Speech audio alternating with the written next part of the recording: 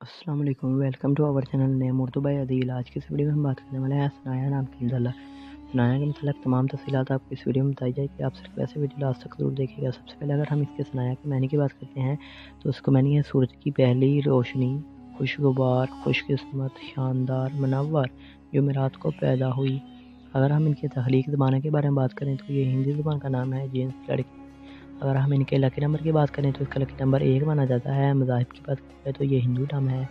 अगर हम इनके हामी नंबर की बात करें तो है एक, तीन, सात, आठ, नौ, तेरह और सतारह है।